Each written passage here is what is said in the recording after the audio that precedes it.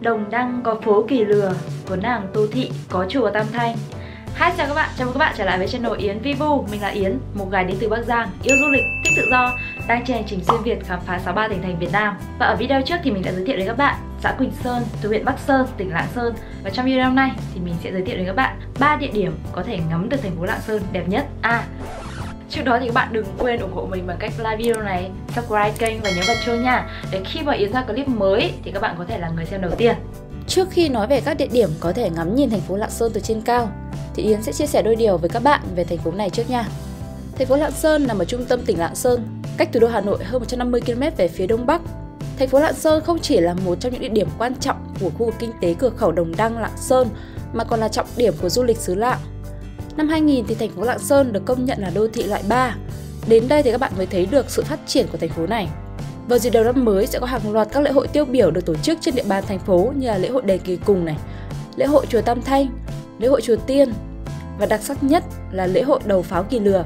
Trên bức tường của trường chính trị Hoàng Văn Thụ ở đường Cửa Nam, các bạn sẽ được chiêm ngưỡng các bức vẽ cảnh đẹp xứ Lạng, ví dụ như là đỉnh Mẫu Sơn này, thung lũng Bắc Sơn, làng Quỳnh Sơn, vân vân.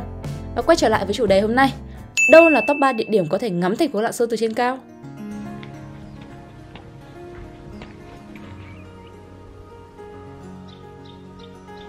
Địa điểm đầu tiên mà Yến muốn giới thiệu đến các bạn đó chính là Thành Nhà Mạc.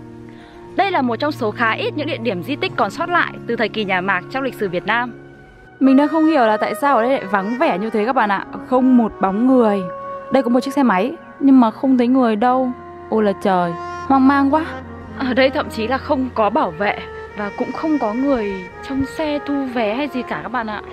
Một sự vắng lặng đến kỳ lạ Khiến mình cảm thấy cũng hơi uh, lo sợ. Khu này cực kỳ là nhiều đào luôn các bạn ơi. Wow Rất rất rất nhiều cây đào và hoa đang nở cực kỳ đẹp. Mình vừa phát hiện ra chủ nhân của chiếc xe máy Đó là chị chị tên gì ạ? À? Chị Na. Chị Na Chị Na hôm nay lên đây à, làm gì đấy ạ?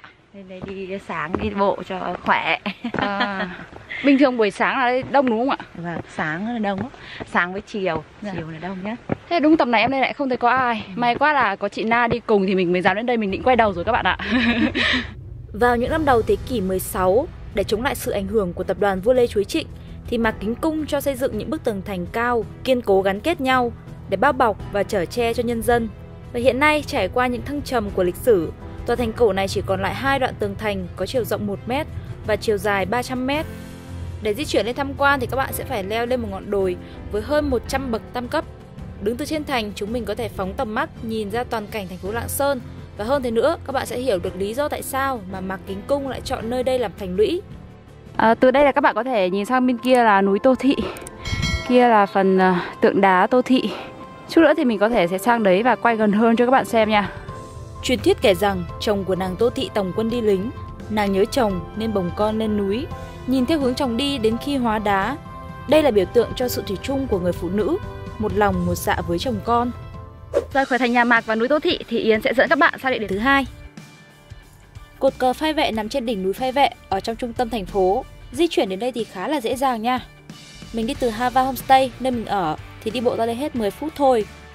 Đây là một biểu tượng hào hùng của thành phố Lạng Sơn. Trong thời kỳ kháng chiến chống Pháp, núi phai vệ là nơi trú ẩn của bộ đội và nhân dân ta, đồng thời được bố trí làm pháo đài tích trữ lương thực và tư trang. Nằm ở độ cao 80 m, các bạn sẽ phải leo bộ 535 bậc đá để lên đến cột cờ. Thật sự mà nói nếu mà 80m 535 bậc Không là gì so với 1.000 bậc mình đã leo núi hôm qua Cả, cả bên kia nữa các bạn ơi Mình cảm giác như là ở đây khá là giống so với ờ, ở hang múa. Chính xác. Buổi sáng sớm và xế chiều thì người dân địa phương ở đây thường lên đây tập thể dục rất là đông. Đồng thời thì đây cũng là thời điểm đẹp nhất để có thể ngắm nhìn toàn cảnh thành phố Lạng Sơn từ trên cao. Và từ đây thì chúng mình có thể nhìn thấy dưới kia thành phố Lạng Sơn. Địa điểm thứ ba mà Yến muốn giới thiệu đến các bạn, nơi mà các bạn có thể di chuyển bằng xe máy nha. Thì thật ra là Yến cũng không biết tên gọi là gì đâu, nhưng mà từ trung tâm thành phố thì các bạn đi về phía chùa Tiên theo hướng đường Văn Vỉ.